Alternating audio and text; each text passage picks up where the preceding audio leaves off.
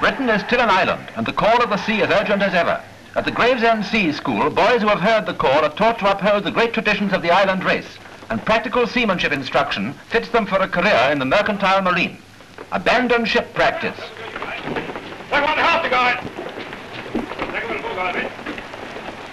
Wait! Make all guards out outside. So now each of you are going to have a run on the steering model. And the navigation class held under realistic conditions. Will's out of port, sir.